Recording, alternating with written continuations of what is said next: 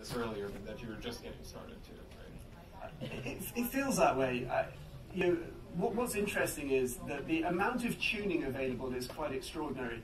Um, you know, if we gave ourselves a scorecard, um, I don't think that we've quite hit the mark in the way that we're serving up um, uh, advertising at the moment. Um, so the mechanisms available to fine tune the kind of adverts that would uh, entice somebody to click to learn more and click into a messenger experience um, is pretty exciting. So I feel that we can achieve more optimization in that in that respect.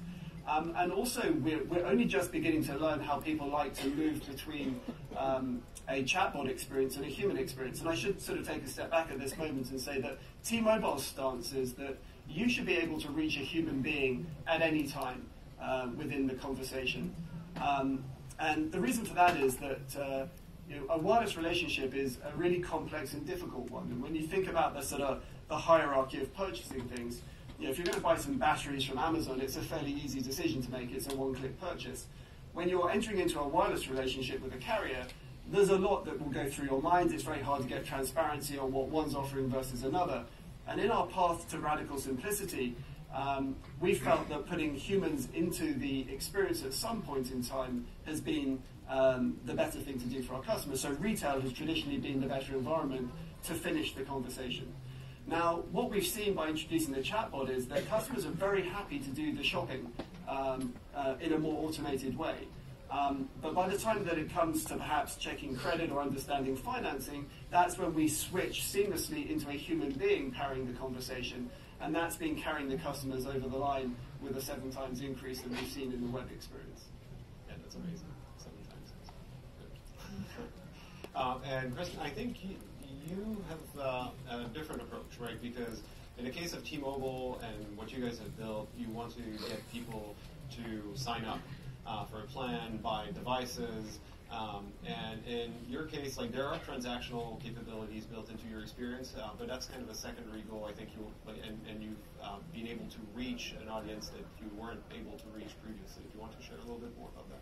Sure. So from an acquisition standpoint, we saw that 75% of the people that were coming through are brand new, which is really, really exciting to us because in a market that is, um, in some ways, a sea of, of sameness, frankly, um, how do you really start to break through? And it goes back to your point earlier, which is being where we know they're already spending the majority of their time.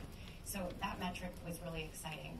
On the second hand, the other piece that was fascinating to us is that over 60% of people who are engaging with that bot, with our bot, um, are men.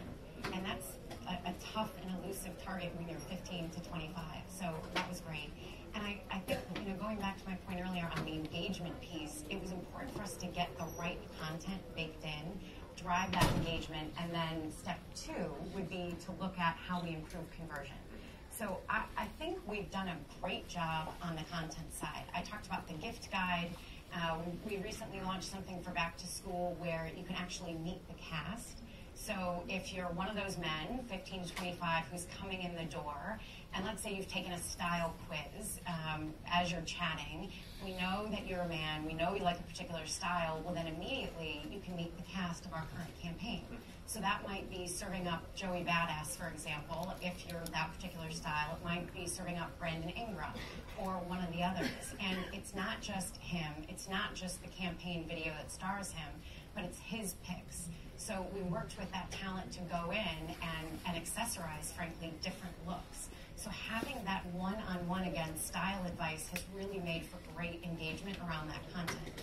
And now, as we've talked about quite a bit, step two, because so much of this has been organic growth and organic engagement, how do we start to use the power that is the performance marketing side of the house to put in that data, that rigor, and that science behind it to actually drive the conversion?